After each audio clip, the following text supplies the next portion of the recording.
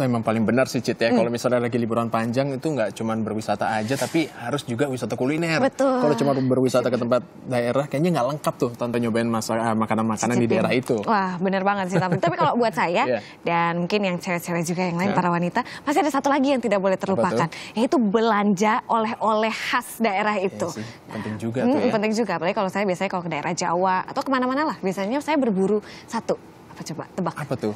Batik.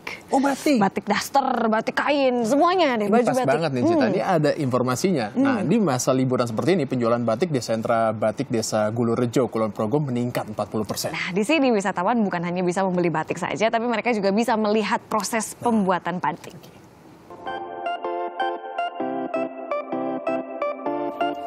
Masa liburan akhir tahun, penjualan batik di sentra kerajinan Batik Desa Gulorejo Lendah Kulon Progo Yogyakarta meningkat 40 persen.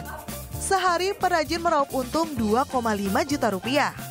Selain pembeli yang datang langsung, perajin juga menerima pesanan dari luar daerah. Salah satu pembelinya Fadingga Ayuna, wisatawan asal Jakarta. Lenda itu kan terkenal dengan batiknya, batik khasnya, dan banyak desa-desa batik di sini. Jadi kami dalam rangka liburan ini juga pengen pengen datang ke sini beli-beli batik, pilih-pilih batik juga, sekalian bisa lihat proses pembuatannya juga di sini. Yang paling banyak diminati motif geblek renteng. Harga per helai kain mulai dari Rp70.000 hingga Rp1 juta rupiah. Meski harga bahan baku produksi batik naik, perajin belum menaikkan harga jualnya uh, untuk harga kita kan belum bisa menaikkan. Mungkin kita seandainya kemarin untungnya itu seribu sekarang tidak ada seribu ya itu.